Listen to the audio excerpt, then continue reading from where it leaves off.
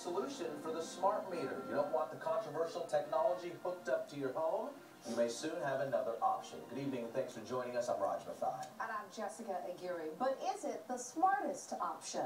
The California Public Utilities Commission tonight electrified the smart meter controversy, saying it has a better option than what PG has offered its customers. You will be able to opt out, but any way you measure it, it will cost you more.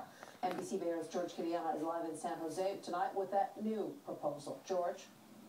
That's right. PG&E customers and uh, some cities have been pushing the CPUC to act and come up with alternatives to smart meters. They've received many complaints, and now it appears there is a deal, and it's not going to be free. PG&E installed this smart meter on the side of the Rosales home several months ago. Two, three months after it was installed in it. They claim their electric bill has gone up by as much as $60. I thought it was supposed to be more accurate, you know, and I thought, you know, that the bill was, you know, at least they would drop a little.